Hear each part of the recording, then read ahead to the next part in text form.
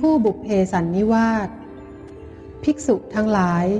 ถ้าภรรยาและสามีทั้งสองพึงหวังพบกันและกันทั้งในปัจจุบันและในสัมปรายภพทั้งสองเทียว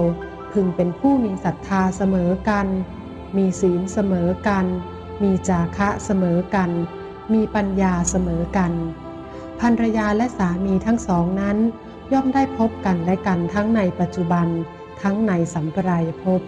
ภรรยาและสามีทั้งสอง เป็นผู้มีศรัทธา รู้ความประสงค์ของผู้ขอ มีความสำรวม เป็นอยู่โดยธรรม เจรจาคำที่น่ารักแก่กันและกัน ย่อมมีความเจริญรุ่งเรืองมาก มีความผาสุกทั้งสองฝ่าย มีศีลเสมอกัน รักใคร่กันมาก ไม่มีใจร้ายต่อกัน ประพฤติธรรมในโลกนี้แล้ว